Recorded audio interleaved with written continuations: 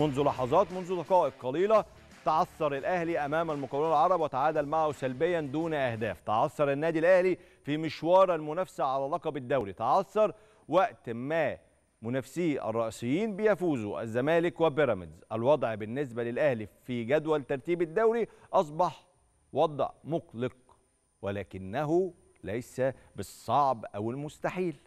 ده اللي هبدأ بيه النهارده.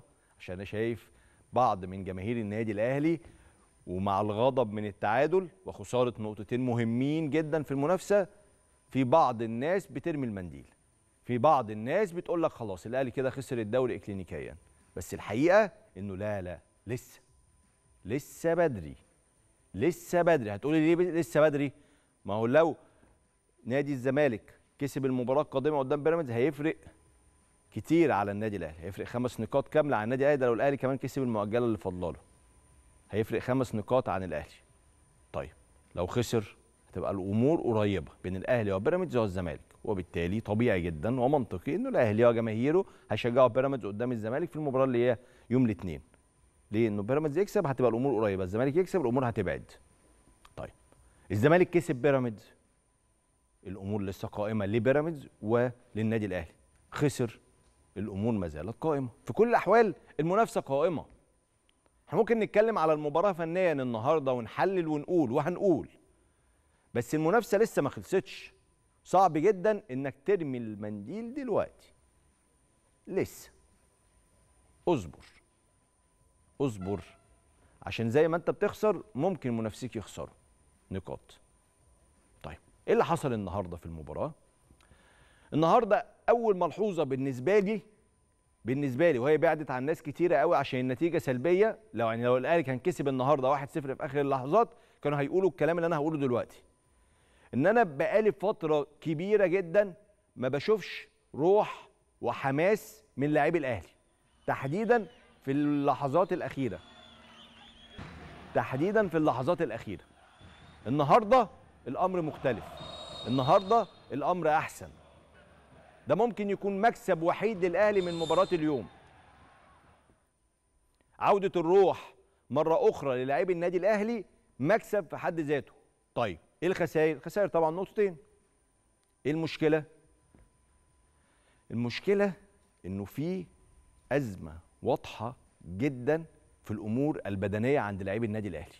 واضح في مشكلة في الأحمال البدنية. واضح إنه موسيماني كان بيشتغل بطريقة في الأحمال البدنية واضح إن سواريش بيشتغل بطريقة تانية خالص. فجسم البني آدم اللي هو لاعب الكورة ما قدرش يشفت أو يروح للأسلوب الجديد. مش هكلمك بقى مين اللي بيشتغل أحسن عشان عارف الحاجات دي حساسة شوية ومش وقتها. بس واضح إنه في مشكلة في الأحمال البدنية. إصابتين أول عشر دقايق إصابات عضلية لا في أزمة. ده غير الإصابات اللي فاتت كلها لا في مشكلة. مش ضغط مباريات. واحدة واحدة. عشان أنت أول حاجة هتقول لي لا لا ما هو ما فيش فرقة بتلعب كل ثلاث أيام ماتش. مش دي الحكاية بس. آه طبعا. طبعا الأهلي تحديدا عشان مشاركاته الأفريقية ومع المنتخب اللاعبين الدوليين وخلافه عنده مجهود بدني أكبر من باقي الفرق. مفهوم. بس حتى لو عندك ضغط مباريات الإصابة ما تبقاش أول 10 دقائق الإصابة العضلية ما تبقاش أول 10 دقائق ابدا. ممكن بعد الشوط الأول ممكن في الدقيقة 60 ما تستحملش خلاص تكمل عضلاتك ما استحملتش. لكن أول ما تنزل تتصاب لا في مشكلة في الأحمال البدنية في التدريبات. واضح جدا. واضح جدا. يبدو كده إن الراجل سواريش جاي بيشتغل بأسلوب معين. تصور إنه اللي قبله بيشتغل بنفس الأسلوب وده مش صح. يعني أنا لو مكانه دلوقتي هبدأ أشوف بقى الوضع وأشوف الناس المعاونين اللي معايا هم بيشتغلوا صح ولا غلط. مش بقول إن هو صح ولا غلط يعني هو بيعمل كده صح ولا غلط. بس لازم يدرس الموقف كله عشان ده لاعب وله أحمال بدنية على مدار الموسم بتتوزع بطرق معينة مش هناقشكم في أمور آه طبية ولا بدنية دلوقتي. بس ليها طريقة.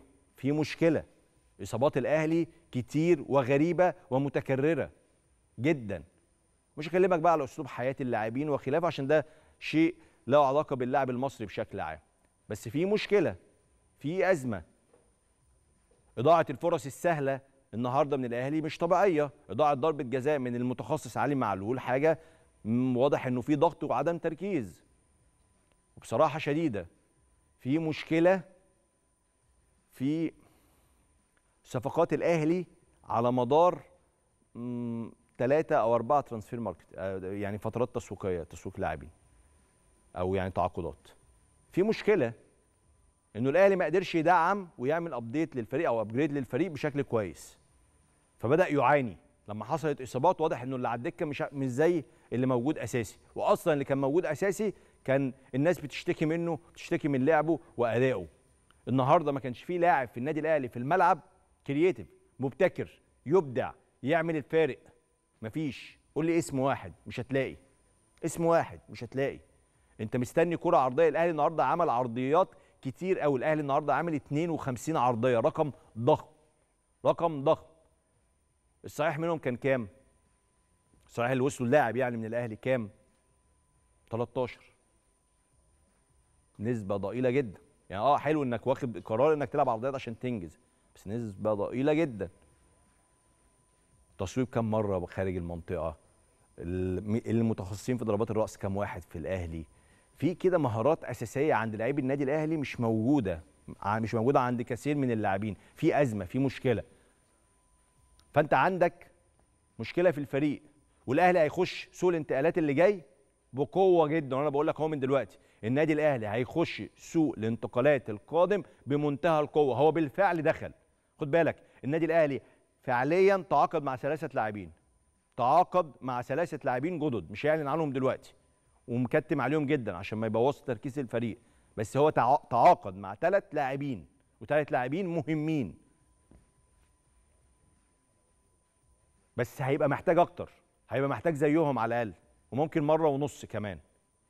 عشان في لعيبة كتير في الأهلي مش قادر أقول إن هم ما ينفعش يلعبوا في الأهلي عشان هو بصراحة برضو اللعيبة دي اللي خدت اتنين دوري أبطال أفريقيا وخدت كأس آه تالت كأس العالم للأندية. ما ينفعش يعني ما ينفعش ترول أقصى الشرق لأقصى الغرب ما ينفعش.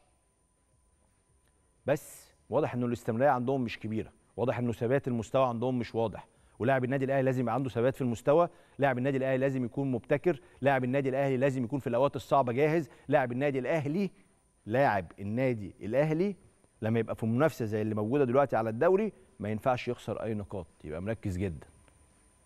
كل اللي أنا قلته ده مش معناه ابدا إن أنا بغفل الظروف الصعبة اللي بيعاني منها النادي الاهلي منذ مواسم.